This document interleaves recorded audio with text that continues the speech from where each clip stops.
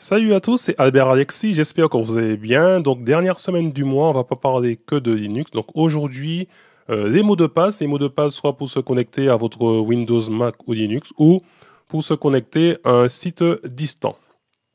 Donc je vous ai préparé euh, différents sites, vous aurez tous les liens dans le descriptif de la vidéo. Donc le premier site concerne quelle est la sécurité donc, de mon mot de passe. Donc le site c'est howsecureismypassword.net. Donc je tape par exemple, vous allez taper votre mot de passe ici. Donc je vais taper euh, lundi euh, 25 mars 2019. Donc lundi et mars c'était en, en minuscule. Et là il me dit qu'il faudra un ordinateur de billions d'années pour pouvoir décrypter ce mot de passe. Vous avez aussi la possibilité d'utiliser un outil euh, créé par la CNIL. Donc la CNIL, protéger les données personnelles, accompagner l'innovation et préserver les libertés individuelles. Donc soit vous créez votre mot de passe à l'aide de phrases mémotechniques. Donc je vais retaper le même mot de euh, passe que j'ai mis dans oursecureismypassword.net. Donc on a dit lundi, euh, 25 mars 2019. Donc là, sur ce site, les mots de passe ne sont pas, on va dire, stockés sur, le serveur. Donc là, il me dit que ce mot de passe pour la CNIL ne, correspond pas, on va dire, à leurs recommandations, parce qu'il me faut une majuscule et une douzaine de mots. Donc je vais simplement mettre ici euh, le, L de, le lundi euh, en majuscule. Voilà. Et il ne me reste plus qu'à mettre une douzaine de mots et je vais euh, rajouter un arrobase à la fin et mettre pour le mois de mars, donc le A, je vais le transformer en arrobase. Et là, il me dit que c'est OK, vous aurez une espèce de petit flèche bleu pour vous dire que euh, le mot de passe, on va dire, est, conforme aux critères de la CNIL. Donc ce même mot de passe, je vais le copier et on va le remettre dans Our Secure is my password. Donc euh, le premier mot de passe sans majuscule et, euh, sans majuscule et caractères, on va dire, tous ces caractères spéciaux, ça m'a pris, euh, ça prendra 2 billions d'années pour voir, pour que ça puisse être, on va dire, décrypté par un ordinateur. Et le mot de passe que j'ai créé avec l'outil de la CNIL, là, on passe maintenant à 93 trillions d'années.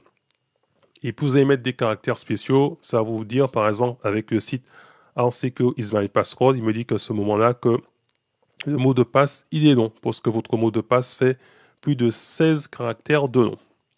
Donc l'autre site que l'on va voir, c'est euh. Donc ici, si vous ne voulez pas vous prendre la tête à créer un mot de passe, il va le faire à votre place. Vous lui dites simplement le nombre de caractères que vous voulez pour votre mot de passe. Donc ça va de 4 jusqu'à 512, euh, donc vous avez de quoi faire.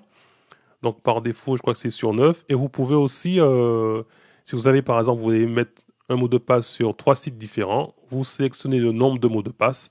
Donc je mets 3 et je fais créer votre mot de passe et vous aurez trois mots de passe différents. Et après, pour ceux qui veulent aller, euh, on va dire, un petit peu plus loin, il y a l'Agence nationale de la sécurité des systèmes d'information, donc l'ANSI, qui donne des, recommandations sur la sécurité des, mots de passe. Par exemple, euh, renouveler vos mots de passe avec une fréquence raisonnable tous les 90 jours est un bon compromis pour les systèmes contenant des données sensibles. Avec, toujours avec l'ANSI, vous pouvez calculer la force de mot de passe. Donc, qu'est-ce que la force de mot de passe? Comment estimer la force de mot de passe. Donc ici, ils disent à peu près que la taille de clé cryptographique de 64 bits est aujourd'hui considérée comme non sûre, car les capacités de calcul modernes permettent de retrouver cette clé en énumérant toutes les clés possibles. Et là, ils ont créé, on va dire, euh, comment renforcer euh, son mot de passe. Ils ont quand une espèce d'outil. Hein.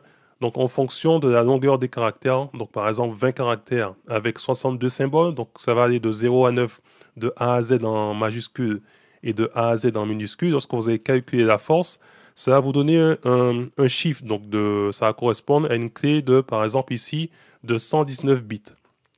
Et en fonction de, ce chiffre, donc vous saurez si euh, la force est très faible, moyenne ou forte. Donc si je reprends les critères que j'ai donnés, 20 euh, caractères et 62 symboles, donc 119, donc je suis bon. Parce que pour eux, ils considèrent que tout ce qui est au-dessus de 100, c'est bon.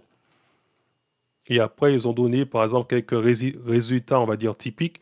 Si je prends 20 euh, caractères et 90 symboles, donc je vais trouver à peu près dans les 130.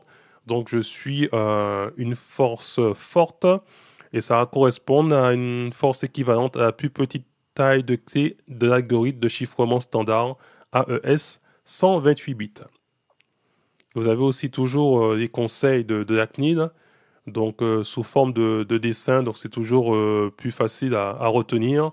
Donc un mot de passe en béton, il ne dit rien sur vous, un compte, un mot de passe, ne jamais l'abandonner en pleine nature, deux cadenas valent mieux qu'un, les retenir sans les écrire, en travaillant vos neurones ou en reposant vos méninges. Et en dessous, vous aurez, on va dire, un petit tutoriel sur qui passe, euh, Zeniway ou Password Safe. Et pour terminer, je vous ai mis euh, une page Wikipédia concernant les grands nombres parce que ce site How Secure is My Password, donc on voit qu'il y a pas mal, il y a pas mal de choses. Hein. Donc euh, concernant les chiffres, les millions, des billions, les trillions, les quadrillions, les quintillons, les septillions, etc. Donc tout ça sera expliqué ici. Et on peut même bloquer, euh, on va dire, ce site hein, sur How Secure is My Password. Donc je vais simplement aller sur le générateur de, de mots de passe ici et je vais lui demander de me mettre un mot de passe de, on va mettre euh,